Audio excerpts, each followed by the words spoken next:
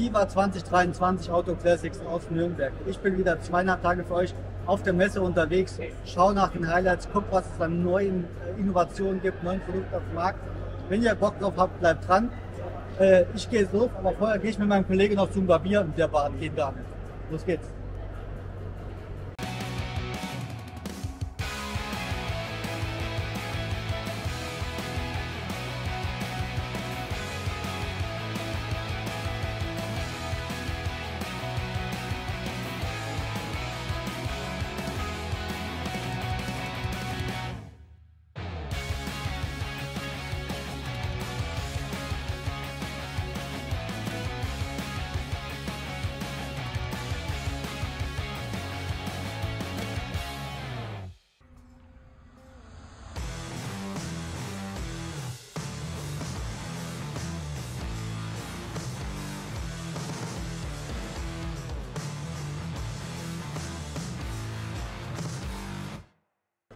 IWA, erster Tag Messebesuch, hat mich direkt an den Stand von Umarex Auto verschlagen. Und ja, jetzt, äh, jetzt gibt es die Neuheiten von Umarex Auto für euch. Ja, hallo nochmal, willkommen am Umarex Stand. Wir schauen uns mal die Messer Messeneuheiten dieses Jahr an. Wir fangen hier an mit unserem kleinen MK40, das heißt Mininal 40. Das ist ein sehr kompaktes kleines Klappmesser, bei dem wir eine Klingenlänge von 3,9 Zentimetern haben. Wir haben eine Linerlock-Verriegelung hier unten und wir haben gefräste G10-Schalen mit zwei Lagen. Das heißt, da ist ein bisschen Farbe mit drin. Und was schön ist, ist zum Beispiel das Jimping hier, das über den ganzen Klingenrücken geht, sodass ich also die klassische Boxcutter-Griffhaltung mit dem Zeigefinger auf der Klingenspitze hier einen schönen Grip habe.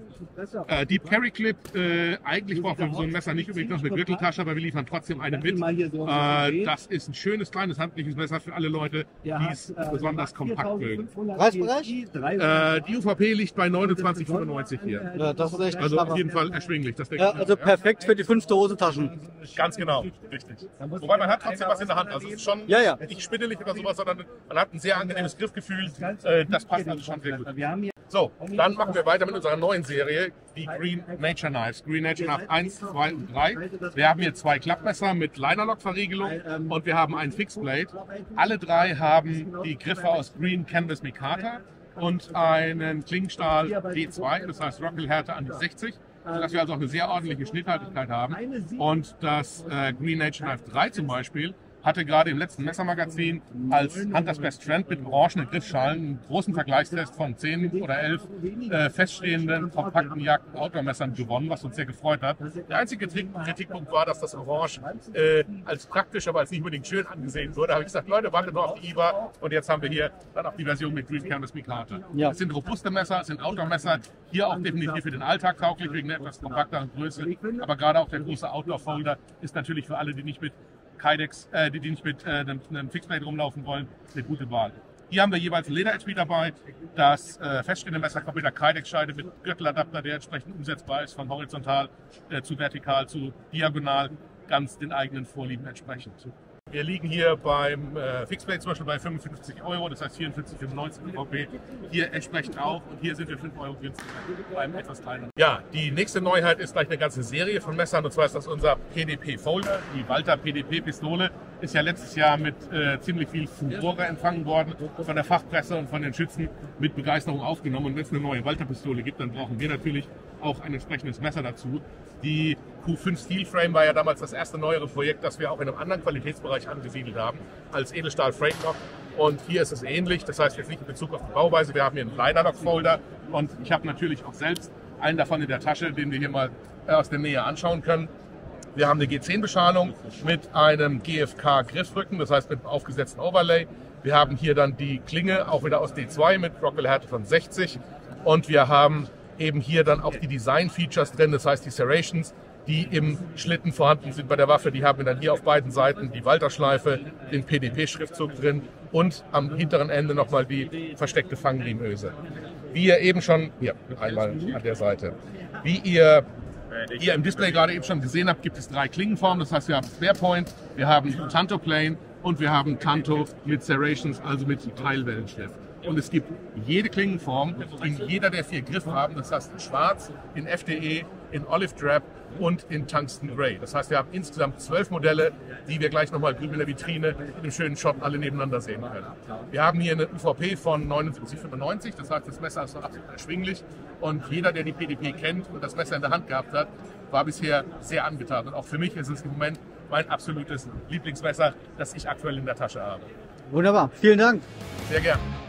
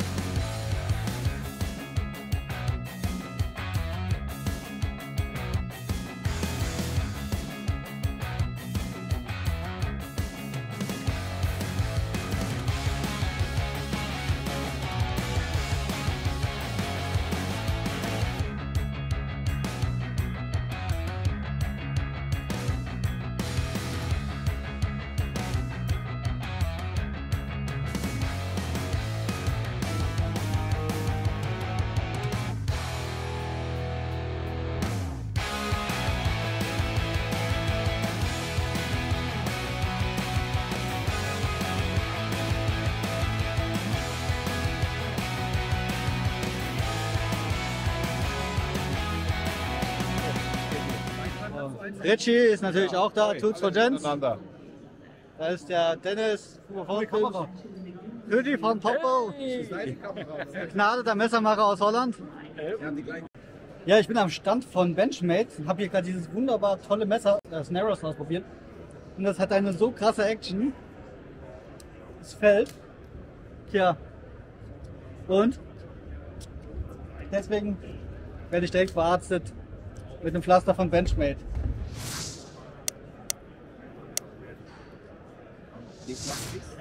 Schabers Hell, das sind die Messer hier. Wir haben hier das äh, Benchmade Bugout in der neuen Variante. Schön dunkles Blau mit einer Klinge in einem schönen äh, ja, Erdton, so ein Ten Coyote-mäßig. Dann haben wir hier das Tagged Out, richtig schön mit dem Griff und Carbonfaser, der orangen Klinge und ja, der Stahl CPM Magna Cut, das ist der Trend dieses Jahr. Äh, High-End Stähle, dann haben wir noch ein schönes Modell, ein kleines Fix. Das Flyway, ähm, ja, schöner Griff aus G10, orangen, schwarze Highlights hier äh, an den Schrauben. Ein äh, Jimping hier vorne drauf, sodass man noch schön nach vorne greifen kann. Das Ganze kommt noch mit einer schönen kleinen Kajak-Scheide, lässt sich dann ja als Neckknife tragen oder auch ja am Gürtel befestigen. Ja, und hier dann das Messer, das Narrows, mit dem ich mich gerade geschnitten habe. Ja, High-End, super schmales Modell. Ihr seht, wie, wie dünn das ist. Auch ein Deep Carry Pocket Clip, Titan Griff. Und ja, die Action hier, ich muss aufpassen, ist wirklich Wahnsinn. Richtig cool. Preispoint ist aber auch Wahnsinn. Das Ding liegt bei über 500 Euro. Mich hat's an den Stand von Bestech verschlagen. Ihr kennt ja noch das Heidi Blacksmith Number One. Das hier ist mein eigenes, das habe ich extra nochmal die Messe hier mitgebracht. Hier in dem schönen ja, Carbon, in der schönen Carbon-Optik. Und ganz neu auf dem Markt ist jetzt gekommen das Heidi Blacksmith Number 2. Hier eine schöne Variante mit einem Mikata-Griff. Ja, da haben wir hier drei Edelstahlschrauben. Das Besondere hier, wir haben hier zwei verschiedene Anschliffe auf der Klinge drauf. Eine schöne Fehlschärfe. Ähm, ja, hier oben vorne wird die Klinge noch mal ein bisschen dicker. Ein schönes Jimping ist wieder drauf. Man erkennt auf jeden Fall die Handschrift von Heidi. Richtig, richtig schönes Messer. Auch mal kurz zum Vergleich von der Größe hier. Definitiv ein Heidi, was jetzt erwachsen geworden ist. Materialien sind hier auch recht ordentlich. Wir haben hier ein CPM S35 VN Stahl, Canvas Mikata im Griff. Und das Ganze liegt hier bei 269 Dollar. Ich glaube 250 oder 270 Euro kostet es auch beim äh, bei Writing Turning Flipping. Wenn ihr interessiert seid, schaut mal vorbei, alles unten verlinkt. Richtig schönes Messer das werde ich mir definitiv demnächst zulegen und meine Heidi Blacksmith Sammlung erweitern. Ja, auch Feldkniffen ist dieses Jahr wieder vertreten auf der IWA. Ja, großartige Neuigkeiten gibt's nicht. Also sie kommen mit ihrer aktuellen Produktion kaum hinterher. Was es aber gibt, sind ja einige Modelle, wie zum Beispiel hier das F1X mit einem schwarzen Coating im Elmax Stahl oder auch das F1 Pro. Auch das gibt es jetzt hier in einem Elmax Stahl. Die Klassiker von Felkniven. Ansonsten die Produktpalette, wie ihr sie kennt, alles vorhanden. 80% von euch haben den Kanal nicht abonniert. Abonniert jetzt, sonst. Schön.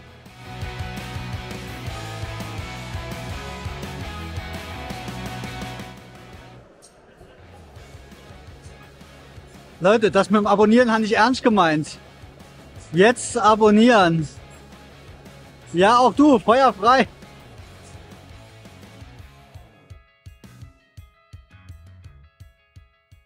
Die IWA hat dieses Jahr eine schöne Fläche hier eingerichtet mit den Newcomern, mit den heißen Produkten, die es auf dem Markt so gibt. Hier ein ganz interessantes Ballchen von Mazarin. Äh, ja, eben auch einen Mora gesehen. Da, das schauen wir uns aber nochmal im Detail an. Natürlich auch viele Neuheiten aus dem Jagd- und Waffenbereich. Äh, ja, wie auch Munition. Und ja, hier haben wir nochmal ein Messer von Blue Ridge Knives. Und da hinten äh, wird schon wieder das erste Bier aufgemacht. Erik, ich dachte schon, du wärst. Nein. Ja, am Stand der Katadyn Group gibt es natürlich auch wieder ein bisschen was zu entdecken. Ähm, die Gerichte sind ja wie gesagt bekannt. Äh, Forestia ist jetzt auch mit süßen Gerichten und Nachtichten am Start. Vanilla Flavored Reispudding, das hört sich lecker an. Ähm, ganz interessant sind für Leute, die unterwegs sind und keinen Bock mehr auf süße Müsli-Riegel haben, äh, jetzt hier die Chimpansi-Riegel in drei Varianten. Pizza, Olive und ja Spicy Salty. Äh, die zwei haben wir jetzt mitbekommen, die werden wir auf jeden Fall mal probieren. Ähm, wer allergisch gegen Bienen ist, für den oder, oder allgemein, Bienenstich ist nie angenehm, für den äh, vielleicht mal nach den Bee-Patches hier schauen. Ist ein Patent, das sie haben. Einfach dieses Pflaster drauf machen und da ist so eine Art Glucose drin, hat er mir erklärt, dass dann das Gift aus der Wunde raussaugt. Einfach draufkleben, ja, Fünf Aufkleber, 5 Euro. Guter Preis, passt.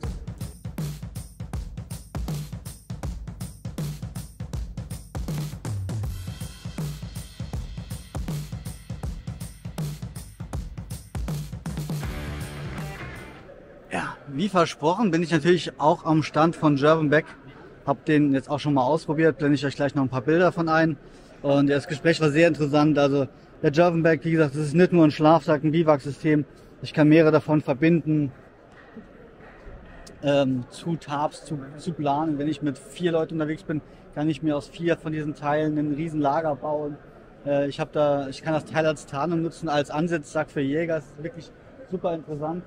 Ähm, die, die ganzen äh, äh, Klamotten haben wir uns jetzt auch noch gar nicht angeschaut. Aber das ist auf jeden Fall einiges, was es gibt. Wie gesagt, die, die Exklusivline, die gibt es ähm, mit drei, zwei oder drei verschiedenen Einsätzen. Ich kann ihn ohne, ein, ohne Einsatz nehmen, mit der 60 Gramm Dreimal-Luftfüllung oder mit der 170 Gramm Dreimal-Luftfüllung. Habt also verschiedene Optionen für verschiedene Temperaturen. Ja. Ähm, wie gesagt, Multipurpose ähm, gibt eigentlich wenig Grenzen, die dem Ganzen hier gesetzt sind.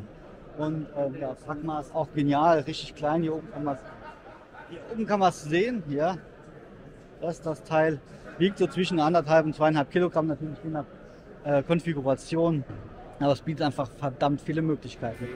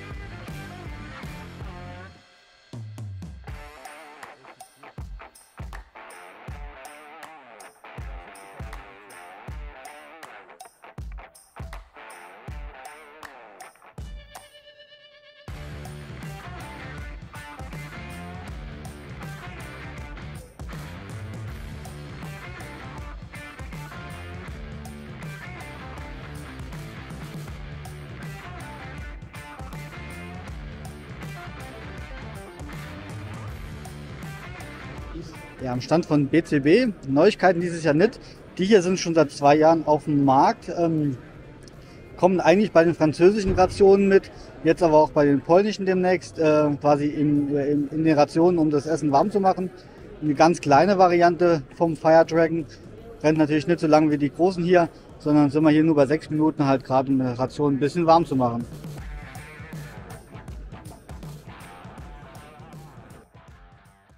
An den Stand von Mora hat es uns natürlich auch nochmal verschlagen. immer wieder schön, dort zu sein, ein bisschen was zum Schnitzen auszuprobieren und die Neuheiten zu sehen. Hier sehen wir Johann Botus, ich hoffe, den Namen spreche ich richtig aus, den CEO, also den Geschäftsführer von Mora, der uns die neue Ashwood Collection vorstellt. Das erste Mal für Mora tatsächlich echte Fulltank-Messer. Ähm, das Garbeck war schon ein Fulltank-Messer, allerdings mit einem aufgespritzten Griff.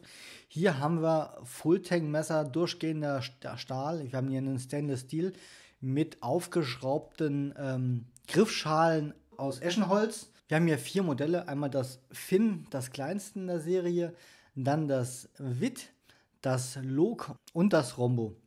Ähm, wie gesagt, vier Stück. Für alle haben so ihren eigenen Einsatzzweck. Ähm, es handelt sich, wie gesagt, um einen Stainless-Steel, ein recycelter Stahl, hat er uns erklärt. Ähm, Holz, das nachhaltig geerntet wird. Ähm, wir haben hier eine Lederscheide mitgeliefert. Bei der kompletten Verpackung wird auf Plastik komplett verzichtet. Das Leder ist wunderbar weich. Mit dazu kann man sich kaufen. Finde ich schade, dass es nicht mitgeliefert wird und mit 27 Euro recht teuer so ein Dengler-System, um das Ganze ein bisschen tiefer am Gürtel zu tragen. Insgesamt muss man sagen, dass die Messer vom Preis her für Mora schon weit oben angesiedelt sind. Wer dachte, dass das Garberg schon teuer ist, dann setzt euch lieber mal hin. Wir fangen hier an beim Finn mit 169 Euro. Das Vit und das Rombo liegen beide bei 214 Euro und das Log sogar bei 239 Euro. Die Namen der Messer haben alle was mit Mora zu tun, gehen schon Jahrzehnte zurück. Zu jedem dieser Namen findet ihr auf der Seite von Mora nochmal eine kleine Erklärung, wo der Name oder wie der Name zustande kam und was es damit auf sich hat. Finde ich wirklich schön, dass Mora äh, hier die Tradition nochmal ein bisschen fortleben lässt und man sieht, es ist nicht nur irgendeine Firma, die sich irgendwelche Namen aus dem Internet zusammensucht. Wenn man zweieinhalb Tage auf der IWA unterwegs ist und entsprechend viel filmt und Akkus braucht, ist man froh, wenn man eine mobile Stromversorgung hat. Heute habe ich dazu genutzt die Pecron E600 LFP. Ja, eine portable Powerstation mit 600 Wattstunden Energie. Ihr seht, ich habe hier gerade Massivgeräte dran. Die Action Cam lädt hier über einen USB-Ausgang. Hier schließe ich gleich noch mal eine Apple Watch an, die ist nämlich auch wieder leer. Ähm, oben habe ich mein Handy an der Wireless Charging Station dran. Ähm, die Akkus von der Kamera werden nochmal aufgeladen und sogar hier über den 12 Volt Ausgang hängt die portable Kaffeemaschine dran und lädt nochmal auf, dass ich mir gleich nochmal einen schönen Espresso machen kann. Weiterhin bietet die Station ja zwei 220 Volt Ausgänge, maximal 1200 Watt könnt ihr hier ziehen. Zusätzlich auch nochmal hier 12 Volt 10 Ampere Ausgänge mit vorhanden mit dem Rundstecker. Äh, da müsst ihr euch genau informieren, ob das für eure Geräte entsprechend passt. Wie gesagt, der 12 Volt normale Kfz-Stecker ist vorhanden. Hier hängt jetzt die äh, Kaffeemaschine dran. Geht aber auch alles andere, was ihr da entsprechend an Geräten habt. Geladen werden kann das Ganze dann entweder über ein mitgeliefertes Netzteil. Das wird dann hier unten angeschlossen mit so einem speziellen Stecker oder auch über Solarpaneele. Die werden dann je nachdem, wie stark die Solarpaneele sind, entweder hier oben angeschlossen. Hier geht auch der 12 Volt Anschluss rein, wenn ihr das Ganze übers Auto lädt oder eben über den Anschluss hier unten. Mit im Lieferumfang ist dann so ein kleiner Koffer. Den habe ich jetzt missbraucht. Da ist noch einiges von meinem Kram mit drin, aber hier ist der 12 Volt Lader, der mitkommt. Ihr seht, da, so wird das Ganze dann hier entsprechend geladen. Äh, mit dabei sind auch nochmal Adapter, um Solarpanels anzuschließen von MC4-Steckern passend adaptiert. Schöne kleine Powerstation. Aktuell liegt der Preis bei 5,99. Wie immer alles in der Videobeschreibung verlinkt. Richtig cool ist beim Display, dass ihr zum einen seht, wie viel Prozent noch drin ist. Ihr seht, wie viel, wie lange hält die Powerstation noch, wie viel Watt geht raus, wie viel kommen rein. Und einmal umschalten und dann sehe ich sogar die Spannungsanzeige vom intern verbauten Akku. Finde ich eine richtig gute Sache, gerade für die Technik-Freaks interessant, die wissen, äh, bis wohin so ein Akku geladen werden sollte. Also wenn ihr Interesse daran habt, schaut mal vorbei, Pcron E600 LFP.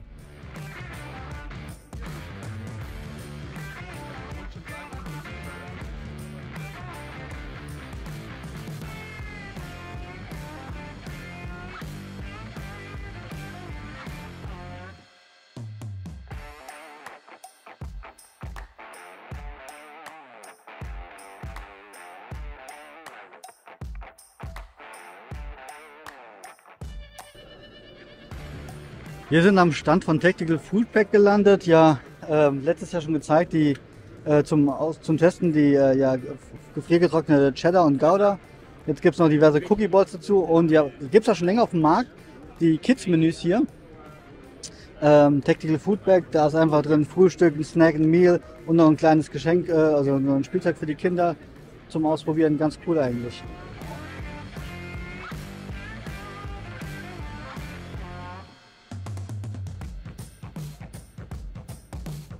Auf der IWA ist auch die Firma Adler Werkzeuge nochmal vertreten. Ähm, die haben wir ja letztes Jahr vorgestellt. Letztes Jahr kamen die brandneu auf den Markt, die Äxte. Ich habe auch schon seit letztem Jahr, das bin ich euch noch schuldig, die kleine hier und das Hickory Beil, ähm, die Hickory Hatchet, glaube ich, heißt sie, ja schon zu Hause im Einsatz. Da kommt definitiv noch was zu. Äh, hab's noch nicht zeitlich geschafft, aber solltet ihr auf einer Suche nach einer Axt sein, schaut mal bei Adler vorbei gutes Zeug, das kann ich jetzt schon mal sagen, zu einem günstigen Preis, made in Germany.